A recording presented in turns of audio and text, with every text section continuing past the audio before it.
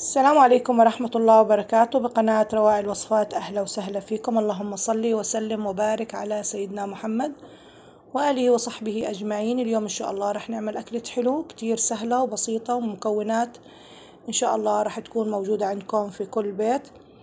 مكونات سهلة وما بدها إشي وطريقة كتير إن شاء الله كمان رح تكون سهلة.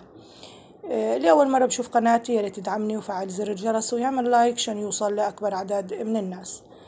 حبيت أسويها آه، أكلة حلو باردة وزاكية كتير بالصيف.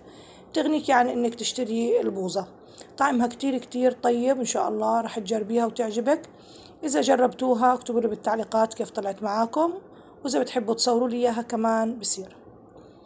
حطينا بال جبت أول إشي بدنا نبلش بالجيلي حطيت كاسة إلا ربع من المي خليتها لتغلي وبعدين حطيت باكيت الجيلي عليها.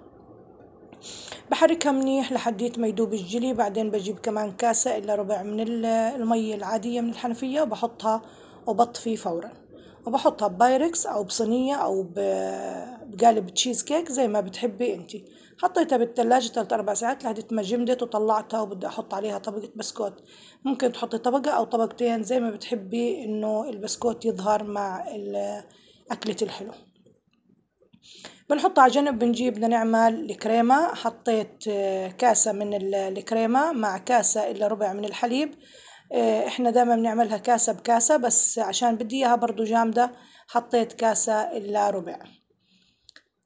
بجيب جبنة أو أي نوع جبنة عندي أو إذا مش موجود عندي جبنة بنحط علبة قشطة برضو بصير وبتعطينا طعم كتير زاكي. ممكن جبنة وقشطة برضو مع بعض. المتوفر عندك ممكن إنك تحطيه إذا مش متوفر لا جبنة ولا قشطة ممكن إنك تستغني برضه عنهم. يعني ما ما في يعني أي صعوبة ما مش موجود عندك قشطة ولا جبنة اعمليها بالكريمة لحالها بس. بعد ما خلصنا الكريمة بدنا نحطها على البسكوت. بنساوي سطح الكيكة مظبوط وبنحطها بالثلاجة بعدين نرجع على تزيينها تزيين هذا برجع لإلك شو بدك تحطي على وجه الكيكة ممكن. عفوا. ممكن تخليها سادة من دون ما تحطي عليها أي إشي أو ممكن تحطي عليها شوكولاتة بتسيحي شوكولاتة وبتحطي ممكن تحطي عليها كراميل برضو برضو زاكي. ممكن تقطعي إذا في عندك فراولة تقطعي فراولة صغير صغير وتحطي على الوجه.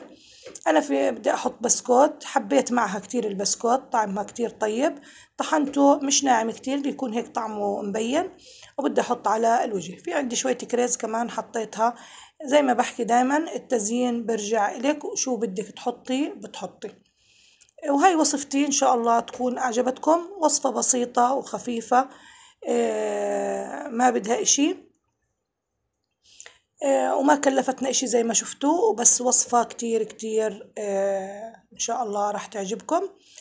آه، وهيك خلصنا. وإن شاء الله بكون الفيديو خفيف عليكم. بحب أكون دايما ضيفة خفيفة ما أتقل عليكم. وصفاتي كلها سهلة وبسيطة. وإذا بت يعني بتشوفوا كمان مش كتير بتطول عشان ما تاخد معكم وقت ويعطيكم ألف عافية.